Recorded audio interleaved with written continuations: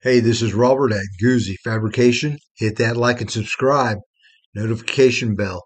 Hey, we are on the 63 Impala, and if you've been following this build, well, we've run into quite a few uh, new part issues. So today I'm going to be showing you one way of making a perfect gap. Oh, hey, that's the end. That's already done. Let me show you what we're working with.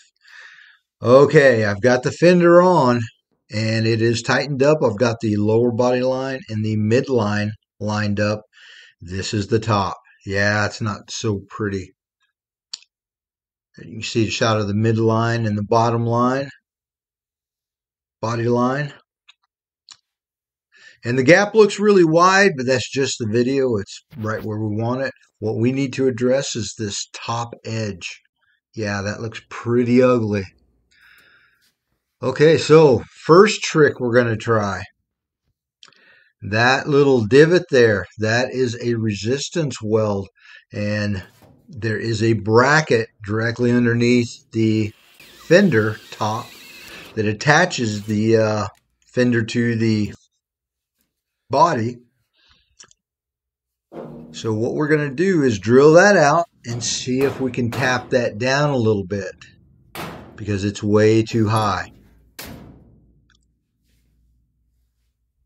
And that was a little homemade tool that I made that I used to tap that down. And you can see we've got it down considerably. Yeah, we've got a couple of different issues.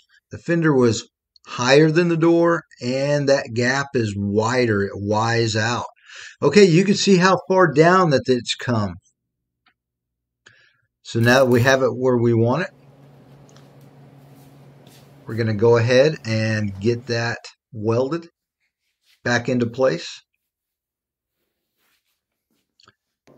Here's a shot of what we've done or have completed. How about that?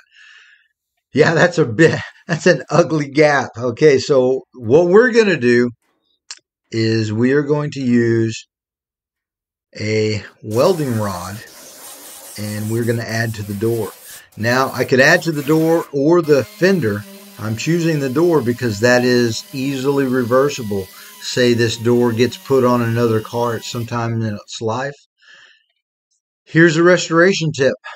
You saw me just sand that stuff down to prep that area. Well, instead of blowing it, just wipe it off with your hand. Less particulates in the air, less you're breathing. Not a life and death situation uh, once or twice, but if you're doing this for 20 or 30 years, uh, yeah, pays to be smart. Okay, back to what we're doing. We are cutting that rod down to length. Back to what I was saying, the repair is going to be completely reversible. It can be removed pretty easily. Now, if I add, and that's adding onto the door. Now, if I add it onto the fender, well, that would be a little bit tougher to reverse. And here I am shaping it. And this will be a little bit uh, more straightforward and easier to do, more uh, user friendly if you're trying this for the first time, a lot easier to add to the uh, door than to the fender. Okay, now that we've got it roughed in the shape, yeah, it keeps rolling on me. Okay, I'm going to shave that part down just a little bit.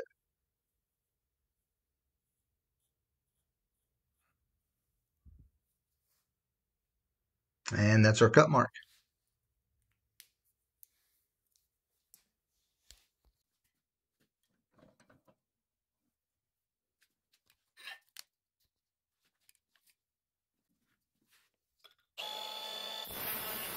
Okay, now we've got it cut to length.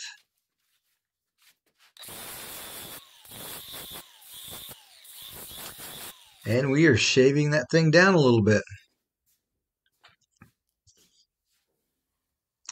And here's what we have. Final fit up.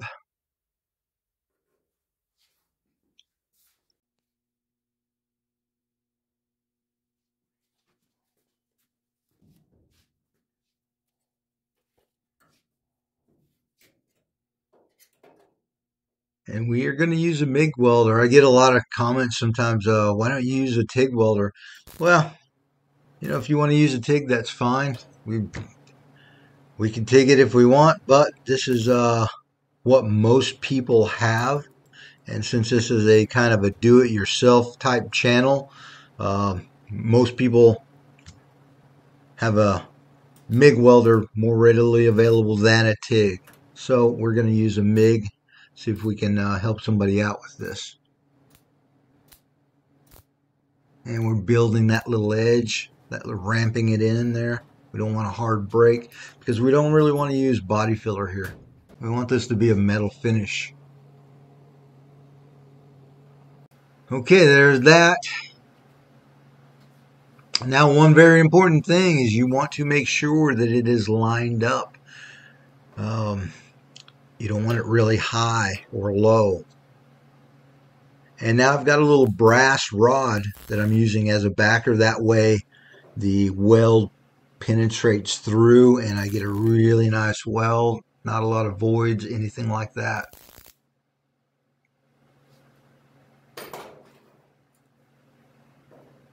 And being level is really critical because if it's too high or too low, well, now you got to grind too much off. Or if it's too low, now you have to add filler. Yeah, that's not what we're doing here.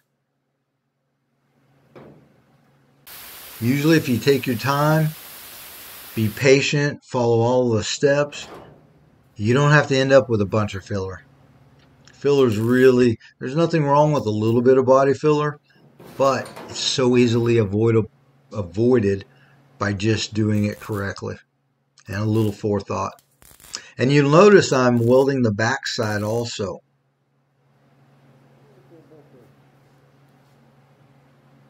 And what you're not seeing in the video is I'm kind of pausing in between, not wanting to let it get too hot.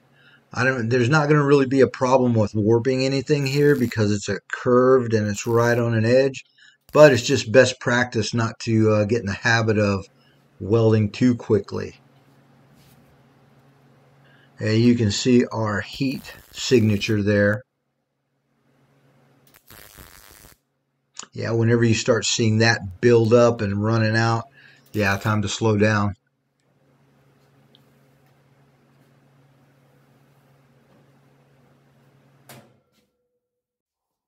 It's looking pretty good. I'm happy with that.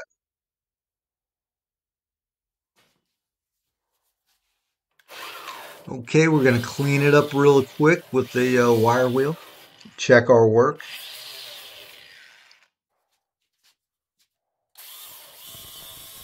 And we'll start uh, with the flap wheel. And we're working on that leading edge. Now we don't want to angle that flap wheel and get into the dig a gouge and thin out the metal in the door. We want to get on that edge, knock it down real quick and shape and contour it. And we are just going to finish it off with a Rolox disc. The shaping part.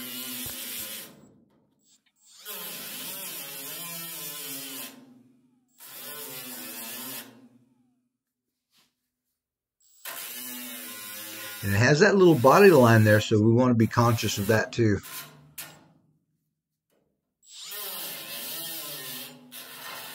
And the trick is to get enough material on there so that you can shape and contour. Okay, now I've switched to a different style of flap wheel. This is a round flap wheel instead of the disc.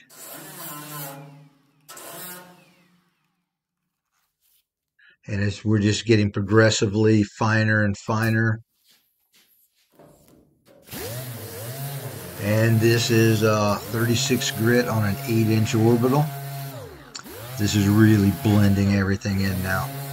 Really really happy with this.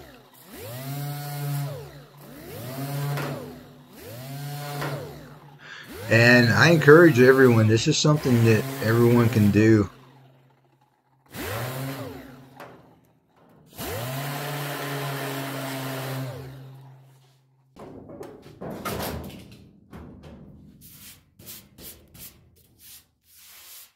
just wiping that off instead of blowing it again restoration tip, general tip, life tip. You can see the contours really coming along. Now we're just hitting it with that 36 grit.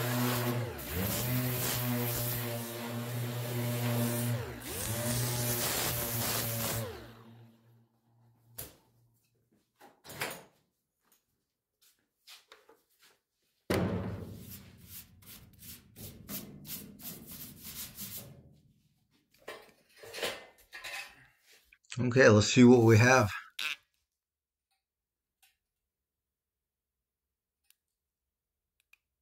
Okay.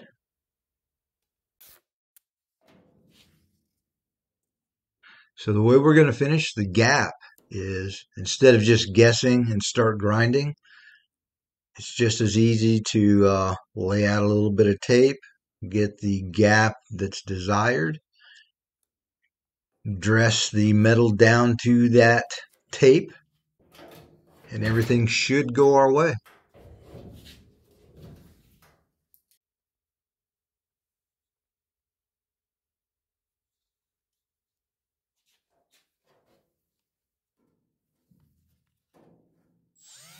We're going to start with this Rolox. And that's just a 3M brand of uh, sanding disc. This happens to be 24 grit, I believe, on here.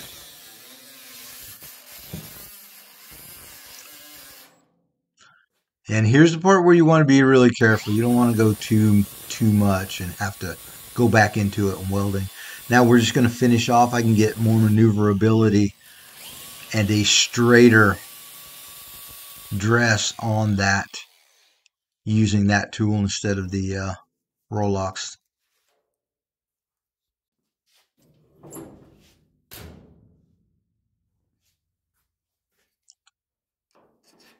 And we are going to finish it off. We're finishing off with a file because, yeah, I don't want to go too much and then have to go back and weld more back onto it.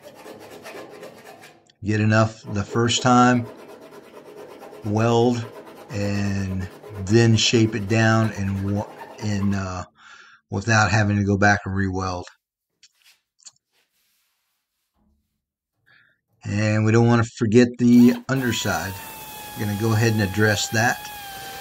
Now this car will have to be blown back apart. The doors are coming off anyway, and we're going to double check and make sure everything is uh, dressed down and finished out while it's off.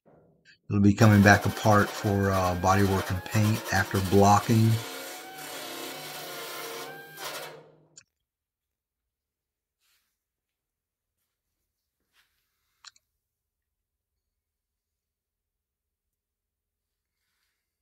And that's what we have.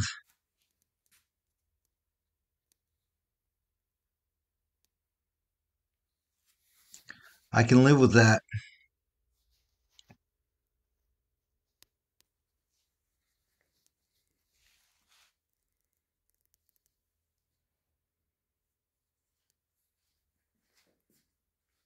Yeah, it's like every gap on this vehicle we have to address like this. Yeah, we're we're not catching any breaks at all on this car. But hey, we're getting through it. And there's going to be a little bonus here so, now I did forget uh, the flap wheel. So what we're going to do is we're going to lay out the materials and then we'll lay out some of the pricing. That's a 3M disc and those are getting hard to find. Um, there's a flap wheel. Now I left out the flap disc. That's not, I'm not even pricing that. That's a little three inch uh, 80 grit on that little one and that's in the uh, 24 36 8 inch and you saw me use that little tool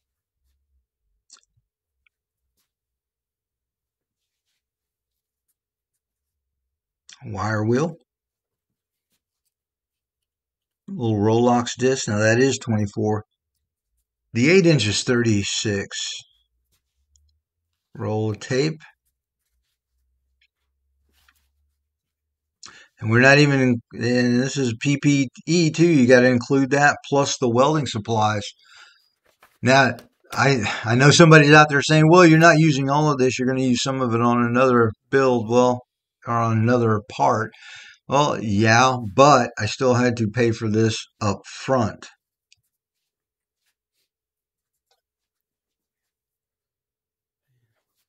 And usually you have to buy by the box. So it's not just individual supplies and material. And so we'll uh, add all that up. And it's like I said, you can add like 15 more bucks for the other flap disc that I left out, 10 to 15.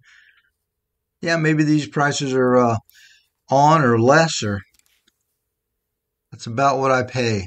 So up front, my cost on materials is $144, what you see on the table. Hey, and as always, thank you for watching.